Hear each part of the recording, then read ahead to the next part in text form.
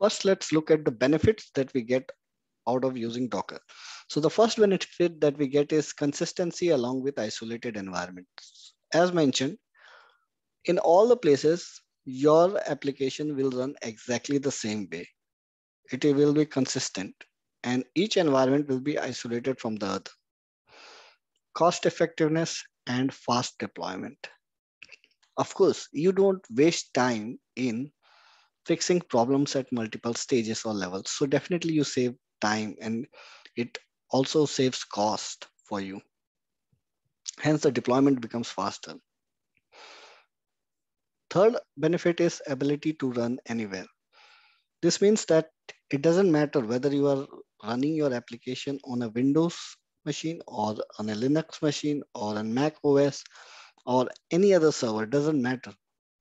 Unless and until you have a Dockerized version of application and certain thing running the, uh, the Docker engine running on it machine, your application is going to produce the same result as it was producing anywhere else. So a Docker engine should be running based on the operating system. And then you just throw this bundle of your application, this one, with your dependencies on runtime. And Docker engine is going to take care how it will run it there. So ability to run anywhere. Next is, is uh, automation, test, rollback, deployment. All these things becomes quite faster. You can automate things now because you don't have to do any manual in, manual things again and again. You can test your application faster. If you need it, you will roll back and deploy a new version again. And the last one is modularity and scalability. Now your application becomes quite modular,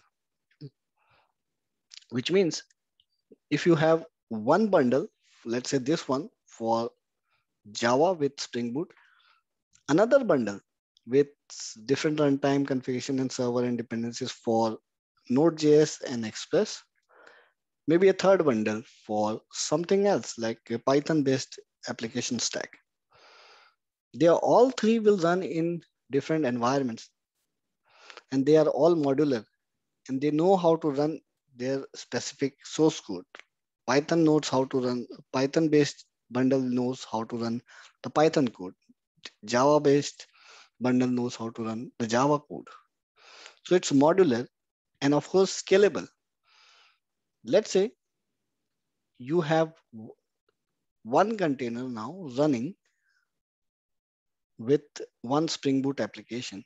As soon as a lot of requests starts to come, this container has the power to scale up, duplicate itself, and it can become multiple. And that's the that's the uh, benefit about scalability. It can scale itself, upscale and downscale based on the traffic that is coming for, or for that application.